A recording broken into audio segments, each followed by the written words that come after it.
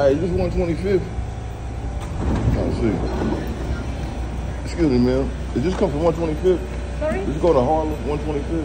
125th? This is 125th. Yeah, it just go to Harlem. Mr. Plank. Yeah, where you- This is the C. Where do are you go? Washington Heights or the, or, or the We try to go to Apollo. Apollo. The, Sil- the Apollo. Sil, uh, the Apollo's called Silver. Uh, what's the name of that restaurant? It's called, um, Let me see the address if you want. it's 127. Because this is 125th. Yeah, it, we supposed to go to 125th Street.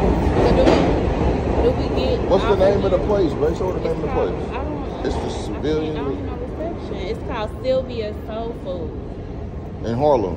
Harlem. Harlem is upstairs, but you need to take the fence. Maybe you need to go to the D train or, or C train because upstairs is San Nicolas. But probably, I don't sure you go to San Nicolas or you go and the, you go to the east or the west. So how did, where do we go to get to Apollo? To The polo is in the D train. You can go in up and walk. So we got to go up. Maybe two, maybe two blocks. No, not far. Okay, so The polo go, theater, right?